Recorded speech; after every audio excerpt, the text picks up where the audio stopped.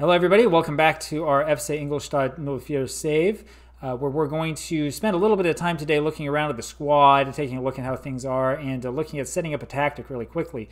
Um, now, just so you know, um, in terms of tactical creation, um, I am far from a tactical wizard. Um, I have spent some time uh, over the past few days looking at the work of uh, Cleon Hobson, um, who you may know from a View from the Touchline, um, including uh, reading through his book and looking at some of the things that he said um, online about tactical creation and some of the tips that he has. Um, there are some ideas that I like. There are some things I don't think I quite understand yet. And there are some things that he recommends doing that we're not going to do. For example, I am not planning on uh, spending the first 15 minutes of every match playing it in comprehensive mode and showing you every single pass and everything that's going on. This would also drive me nuts. I have a life um, outside of Football Manager, believe it or not.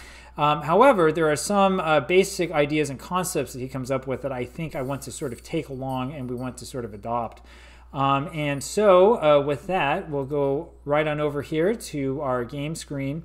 You can see we have done nothing. I've not advanced the game once. This is probably the longest I've ever gone without actually advancing a game of Football Manager.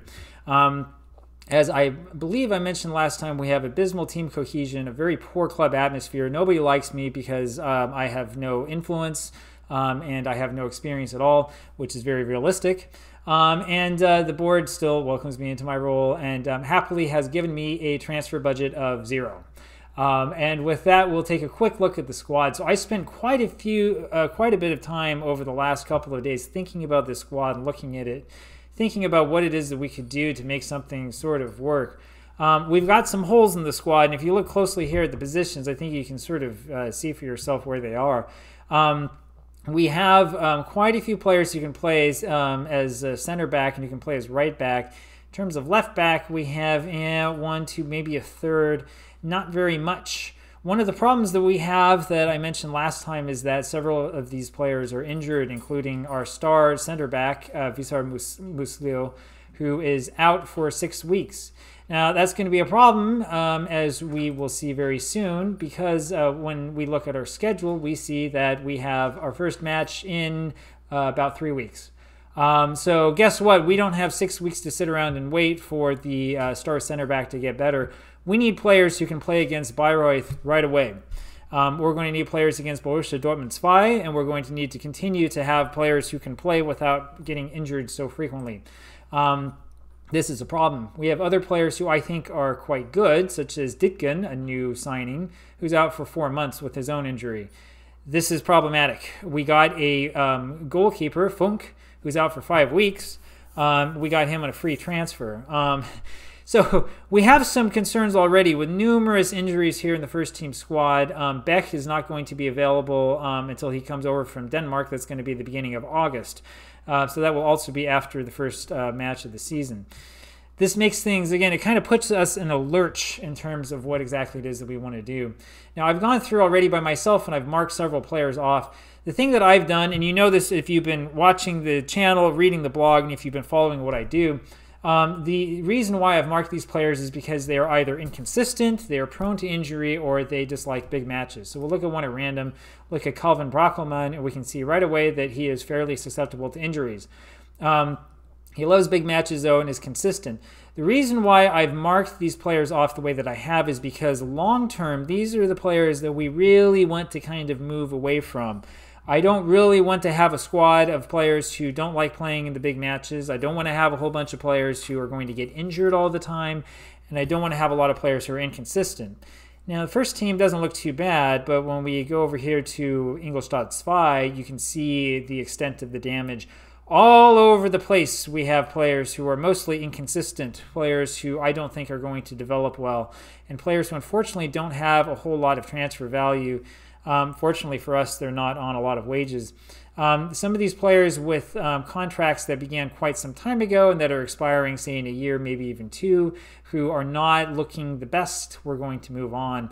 That's the strategy because, as I mentioned last time, when we look, say, at Selman El Basset, um, we can't see any star ratings anywhere. We can't see is this guy better or worse? What do we think about this guy's potential? We can see a couple little things about this we can see that, well, you know, he's homegrown at club. That's one thing. Um, uh, but he's operating at the Regionalliga level, which is not good. He's also not consistent. and he's a peripheral figure in the squad. For a guy who's 21, who might be able to make some sort of progress in the future, but we're not quite sure, I'm not certain how much time we really want to spend uh, trying to develop this player. Uh, my thought is that this sort of player we should probably move on from. He's been around here for a while. He's not really done too much. He's been on loan back in, uh, looks like back in Finland. Um, and I mean, I don't know. We're, we're going to probably move away from this type of player and instead use our precious development resources on players who we think actually have a potential for moving forward. Now, the under 19s are um, a very similar story, actually. We have a lot of players with a lot of little issues. Um, and uh, these are players who are maybe not quite so easy to move on. Those that are under 18, maybe we can. If they're 16 or 17, we might keep them around. These 18 year olds, especially the ones that I'm like, I don't know about this guy, we might try to look for loans for them. One thing I didn't mention at the beginning is that we do have all of the German leagues loaded. And this is essential when it comes to playing in Germany, same thing in France. The reason why is because you really want the second team to actually have a schedule. You want them to actually play against other teams. As you can see, they're in the Bayern Süd. Um, and they are playing against other teams, including other second teams. They can compete with them. We can see how good or how poorly our players are playing. This is much different than the standard arrange a bunch of friendlies for your two squad and sort of see how it happens. That's not what we're doing here. We want them to play proper matches. We want them to play against proper teams. We want to know how they are playing. And so that brings us over here to the tactic. Now, I'll show you before we go into any detail in the tactic, the screen that I saw when it came up. Um, we see choose a tactical style here, of course. They're talking about we could try wing play. I like the idea of wing play. You know why they recommend wing play, right? It's because we have tons and tons of wingers in the squad. I mean, I don't know what's happened in Ingolstadt, right? I don't understand what the management in the past was thinking about, but for one reason or another, we decided at this club that we love wingers, and we especially love right wingers. Everybody can play on the right wing. Um, this is a trend. When I managed um, Ingolstadt on my own in FM21, we had the same problem. I don't know about that. I like the idea of wing play. We're going to have to use these guys, but I don't know if I want to have a tactic that's based just around wing play. I want to see something that may be a little bit more complex. We can do that route one with with the direct uh, passing and sort of just move the ball up to the forward and have them shoot. And that's kind of going into you know my mindset as I'm looking at the type of tactic I want to make. And also, there's a question about the counterattack. But again, the problem with the counterattack that I have is that the board wants us to play attacking football, not defensive football. Um, and as we saw yesterday, when we're looking at our season preview for the league, um, when that comes up, we are among the favorites to win the whole league. We have a squad that is stronger and that has more um, ability than the other squads in the league. Why in the world would we play a counter-attacking system if we expect to dominate possession and if we should expect to be able to attack? We're not going to do that. So, having thought through that, having read what Cleon had to say, I decided to use a somewhat modified um, vertical tiki-taka system. Um, I haven't actually gone fully through this and changed everything and looked at all of the possibilities it's a little bit overwhelming. And really, Football Manager is sort of like learning how to ride a bike or learning how to use Linux or learning anything like that. It's better for you to go and to start doing it and to give it a try um, instead of sitting around thinking about theory all the time. Um, and uh, so this is the try that we're going to have. We'll have um, two inverted wingers um, instead of, I think they were in, inside forwards. We'll try this with inverted wingers first, but I'll take a quick look at these wingers. If we don't have that sort of foot combination that we want, we'll just change these over to normal wingers. That's perfectly fine. Um, we'll have one in attack, one in support, and then the corresponding fullbacks instead of wingbacks. We'll try this with fullbacks. We'll have one in attack, one in support. I decided to go with a halfback here in defense instead of a deep lying playmaker or something like a defensive midfielder, um, just to give it a try. Um, I'm not actually very familiar with the halfback role. We'll see what happens. I have this uh, sweeper keeper on defense instead of on support. Um, one of the reasons why I'm doing this back in defense, and one reason why we're on a balanced mentality, is because I'm thinking that we may not want to have a very high defensive line. I watched a number of clips of Ingolstadt and 04 from um, their uh, exit season in the Zweite Bundesliga last year, and what I can tell you is that frequently when the opposition was scoring goals, I saw Ingolstadt defenders who were really like trying to race all the way back um, to uh, desperately defend shots that were coming. I don't know if I want to see that. Um, I would much rather um, have a defensive line that maybe stays back a little bit more and um, isn't always so frantic in trying to uh, recover. So we'll play around with those settings. I know that this is set on high defensive line. I'll play around and look at this, and we'll see sort of what happens um, in the first couple of matches of the season. Um, I thought for a while about having a Mezzala on attack. Um, after thinking about it, I thought let's start it off with support, see where we go from there. Um, I haven't thought much about this box-to-box midfielder, if that's what we want, or if we want to do, you know, something else, maybe a uh, roaming playmaker or some other type of role. Um, I'm not quite sure what we're going to do, so we will um, take a quick look and uh, see what our uh, choices are. We could actually also have um, this player come back and play the regista role and have the Mezzala play a little bit more in the center. So I don't know. We'll see what we want to do. Um, and then uh, in front, we'll have an attacking forward. So um, Cleon Hobson, and I'll link to this uh, below underneath um, today's story. Cleon Hobson on View from the Touchline is a really interesting article about the art of possession in FM23.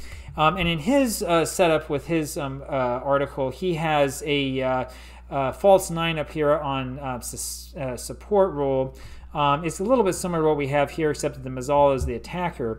Now, if you read a lot of his work, you see that kind of his dream is to have a Mezzala who outpaces the striker in terms of scoring and who ends up being really where the offense is coming from. We're not going to do that with this team. I'm not really that interested in that type of experimentation. Um, I'm a little bit interested in sort of playing around a little bit with these rules and seeing what we can get with them, but I don't know so much about this, like, oh, well, we really want, you know, this player doing this. Or, I mean, it doesn't matter to me really where the goals come from. I figure we probably want to have them come from the striker. We have some players who are pretty good. Um, this guy, um, uh, Pascal Testroet, is um, listed as one of the better strikers in the league. He's 31, so not really kind of the age that I want. I also am concerned about him because when I look at his stats, I'm seeing 12, 15, 18 goals once in the Zweite Bundesliga. Maybe here in the Dritte Bundesliga we can see about 20 goals or so from him. I don't know. I worry. He's a little bit older. You know, how much longer do we have for him? Yeah, unlikely to improve in the future. I'm a little bit more worried about this guy starting to deteriorate as a player. And then what are we going to do? Um, one last thing, really quick, before I let you go. I wanted to look really quickly here at the uh, transfer history, so ignore my new head of youth development, um, and uh, at some of the things that have happened here. So, um, as you can see, a lot of these players are actually younger that have come in. I have the red flag or yellow flags on them because yeah, I'm not so sure about this one. This guy came in injured. This guy came in injured. I don't know about this transfer policy, guys. Like, we need to look at more young players who don't suck, and we have now a lot of young players who suck. Um, my biggest concern, though, is not that; it is the transfers out. So my boys, the guys I remember playing with in FM21, will be like Heinloth, Kutschke, um, Eckert, uh, Maximilian Wolfram, though I usually sold him at the beginning of the season, uh, Fatih Kaya, um, uh, Bilbija, um, and a number of others who left beforehand, and of course Yen. Um, all of these guys left, many of them left on free transfers, um, probably because of the uh, uh, very poor showing that Ingolstadt had in the Zweite Bundesliga. But this is a problem. We can't have this happen. I mean, some of these players like Eckert, Eckert was a star player. He's 25 he was a great player for this team. You know, I mean, you got to hold on to these guys, you know? That, that's my thing. We, we need a change of scenery around here. We need a change of pace. We need to stop this sort of thing from happening. I don't want to go away from here seeing a whole bunch of free transfers going out. We get no money for anybody. We have nobody, no transfer budget at all, and then we're spending money on Tobias Bech, who's going to be injured you know, I, I, let's not do that. Let's get um, younger players, although I guess he is only 20. Let's continue to buy young players and um, let's see if we can get some people with good mentalities who really want to be here so that we can change up the squad. There you have it. Very quick video. Um, in lieu of having a big transfer special, I thought I would just walk through things with you quickly. If you like it, click the like button. You can subscribe here on YouTube, leave a comment please come down to and check out the blog. Like I said, we're doing things differently. We're doing it FM stories mode, which is something that I haven't seen other YouTubers do. We're going to have a lot of fun with this. Uh, so come check out the blog and check out our work, and I will see you tomorrow with the first game of the season. Bye.